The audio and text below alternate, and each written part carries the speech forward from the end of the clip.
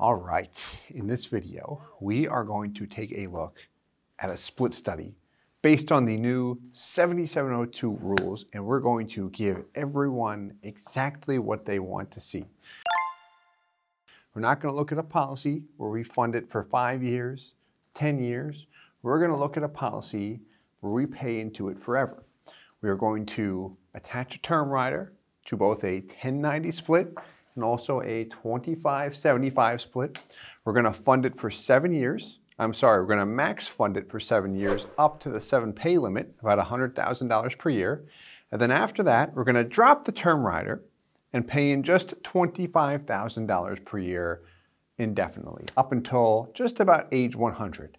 And we're going to look at the dividend values because based on the new 7702 rules, we have a higher surplus crediting rate, a higher dividend, which, since dividends are more favorable on base premium dollars, that should result in greater long-term value, especially if we keep on pumping into it, pumping money into it. But is that the case? So we're going to look at the dividend values and then also the guaranteed value so we can just have full transparency to see what type of design I should go with if I am very, very interested in the long-term cash value, but also I value my money all the way through, so I want to see the short term as well. So here we go. We are going to look at a product that is purely designed for, strong, for strong long-term performance, an L99. It's paid up at age 99 but for the split study. So we've got 100,000 per year going in. And what that means with a 1090 design, we're going to have a $10,000 base premium. It's actually a little bit less than that. The base premium is about $9,000.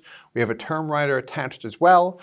So what that means is we have a close, just about a net of $10,000 per year. Whereas with the 2575, we've got a term rider that literally costs a couple hundred bucks we cut it off after year seven and then fund just the base premium thereafter, which is a very, very common strategy we see when it comes to a 2575, a 4060, whatever type of design it is.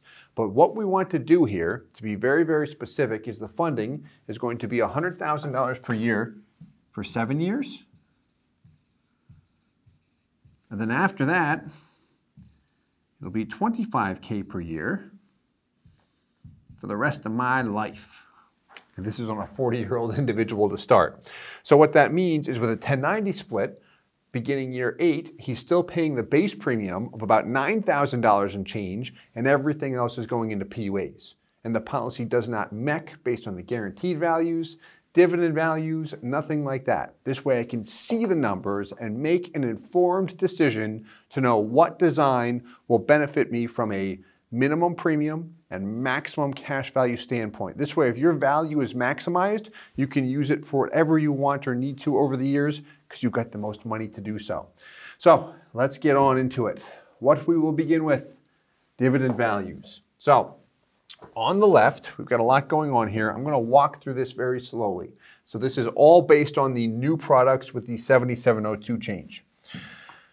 Dividend values, L99 base premium, and this includes the term rider as well, about $10,000. Again, it's a little bit less than this. PUA rider, 90,000. Annual outlay represents his total out-of-pocket year over year. First year cash value, about 83% in this example. The break-even point is year six. Normally, this would be year five with this type of product. I'm sorry, with this company and the product we often use, but we wanted to maximize the long-term internal rate of return as much as possible. Long-term cash value, long-term death benefit, and this one gave a little bit more long-term than the guy that breaks even year five. Not a big difference though. So positive year five, I'm, I'm sorry, year six. What do I see in the funding? 100K per year, after seven years, my base premium remains constant at $10,000 per year. We're going to assume we keep on paying it year in and year out. But what do you see here? So through the seventh year, your PUA payment was $90,000. And when we drop the total payment to 25K per year, 15,000 per year is allocated toward paid up additions.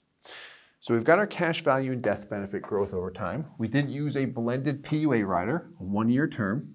which is why you see it level for the first seven years. That's a good indicator to know if you have a one-year term attached. And then we chopped it off after year seven. Compared to the guy on the right, the 25-75 split, dividend values.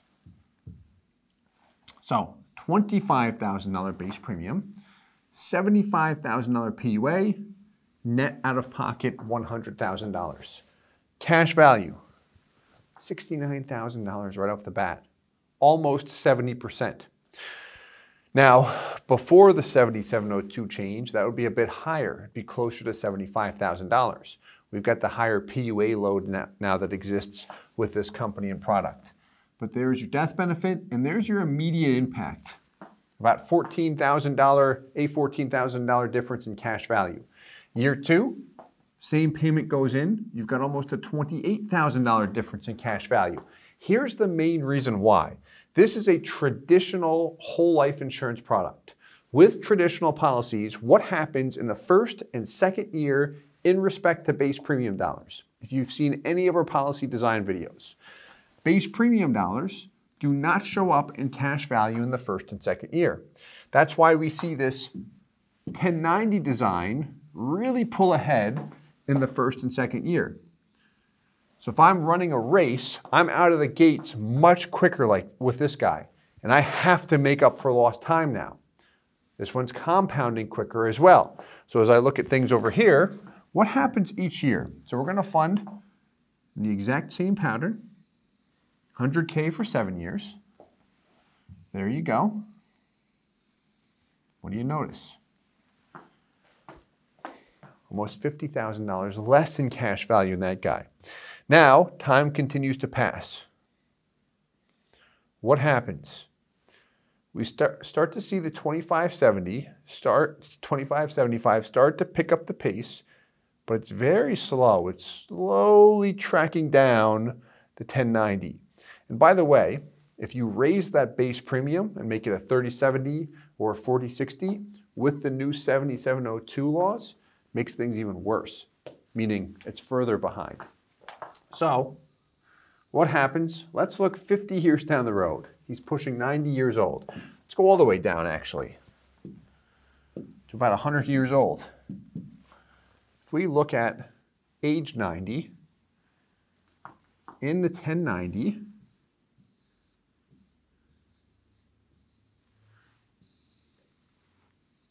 about 8.2 million in cash value in the 2575,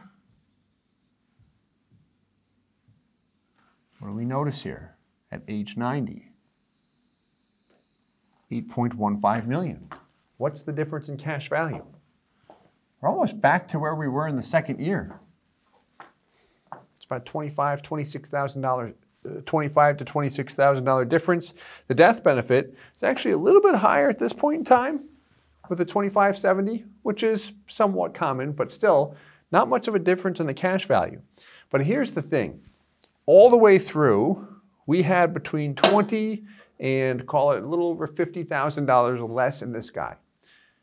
Especially in the early years, what is that? We've got the word opportunity cost. Huge difference there. So if all things are equal at the end of the road, why would I not take the example or the policy with the same company and product that has more money all the way through. Like, why would I not do it? Makes more sense. I've got more value as a consumer. I have less money as an agent from a compensation standpoint, which is good to know for full transparency. So those are the dividend values. That is what is not guaranteed. Let's take a look at the guarantees. So everything's identical here, pulled directly from the illustration software, which we always do. 1090 on the left. All the same, base premium, PUA allocation, first year cash values are identical because with this company, no dividends are paid in the first year, expenses are identical, so there's no difference. But what do you notice here? Break even point, 7702 update. This is where it hurts. Used to be between years five and eight, depending on how long you're funding. Now it's year 10. Guarantees we're looking at here compared to the 2575 all the way at the bottom of the screen, year 14 is your break-even point.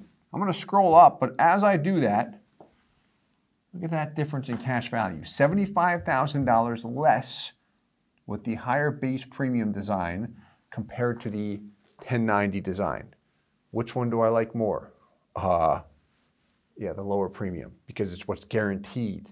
Do I want what's guaranteed or do I want to take a policy with a higher base premium for the hope that right now is non-existent, but for the small hope that I might have more money long term? Like, I wouldn't. I'd go with what is true, what is proven, what's guaranteed with that minimum premium. And this is regardless if I'm in the industry, regardless if you work with us or not, if you've spoken with any of our agents and it was a competitive case, like you know how we treat that. We provide information. We love it if you decide to work with us, but at the same time, competitors, if they're doing the same thing, they're doing the right thing, they might even work with us in our coaching and training business. So we're not going to try and cut them, cut their legs out from underneath them. That would be wrong. Let's go all the way down, just like we did in the last example. And what do you notice here? Look at this. It's not a $20,000 difference anymore. So based on the non-guarantees, the 2575 produced between 20 and $50,000 less all the way through. Based on the guarantees, by the time we're kicking the bucket, it's four to $500,000 less in cash value. If we look at the death benefit, that's significant as well. So this is the kind of stuff I want to be aware of upfront as a consumer. Clear comparisons, same term riders, everything used to truly maximize both examples.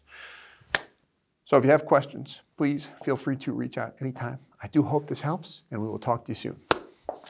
Hey guys, Steve Parisi here. If you enjoyed the content you just saw, please subscribe, like, and hit the notification bell for future videos.